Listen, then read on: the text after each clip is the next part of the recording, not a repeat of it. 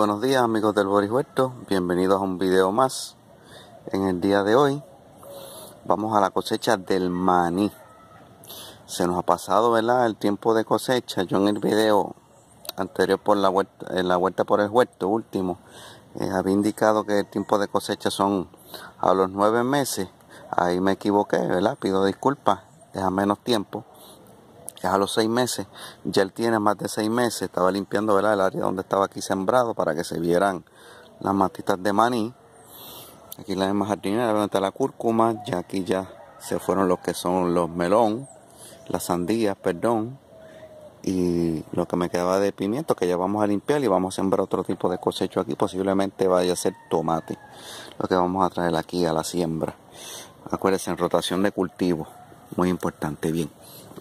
Aquí tenemos el maní, vamos a refrescar rapiditamente, ¿verdad? Lo que el maní, el maní pues es una planta que no crece mucho, crece pequeña, entonces donde se da flor como yo les expliqué, en esta área de aquí, esa flor va cayendo al suelo hasta que se introduce en la tierra. Y ya aquí, como ya yo moví la tierra, para que ustedes vean, miren maní aquí. ¿Ves? Aquí tenemos el cosecho de maní hasta el momento está muy bien para tantas lluvias que cayeron acá en el mes de diciembre, que yo pensé que a lo mejor le iba a afectar, pero gracias a Dios, por lo que vemos, hay maní. Miren aquí, más maní. Así que fue todo un éxito la cosecha. Voy ahora a poner la cámara en un lugar estable para entonces ver cómo, entonces, aquí tengo dos matitas nada para que ustedes vean cómo se cosecha el maní.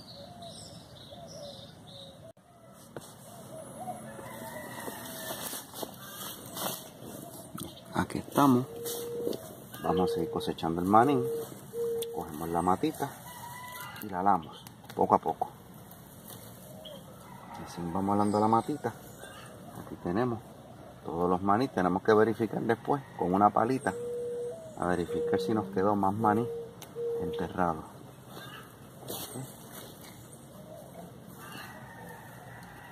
Acuérdense, esto es una matita de un solo grano de maní lo que estamos cosechando.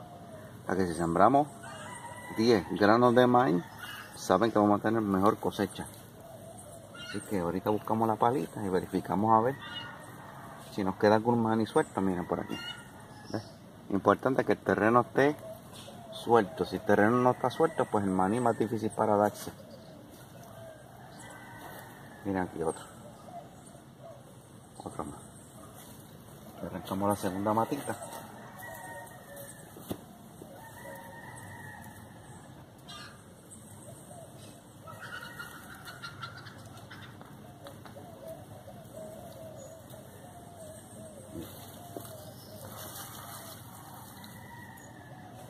Es lo que les digo, miren, como está el maní.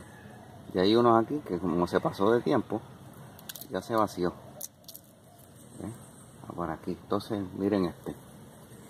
Ya este, como había pasado el tiempo de cosecha, ya estaba naciendo. Este así mismo yo lo cojo de aquí, pico de aquí y lo entierro de nuevo en otro lugar y voy a tener más maní. Así que mis amigos, maní también en el huerto. Esto es en Puerto Rico, así que se da el maní. Verificamos.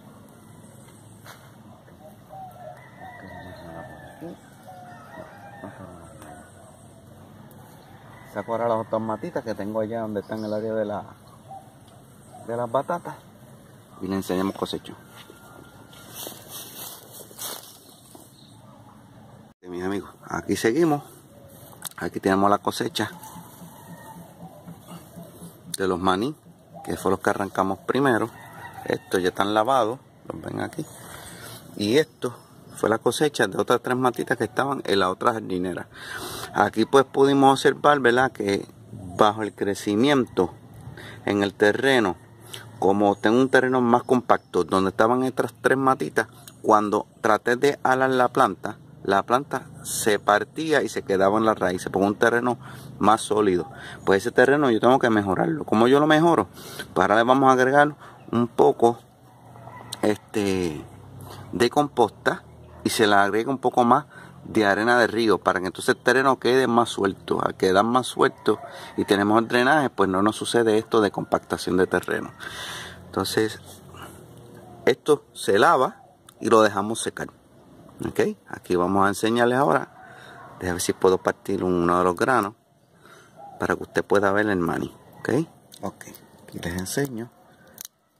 Aquí tenemos el maní.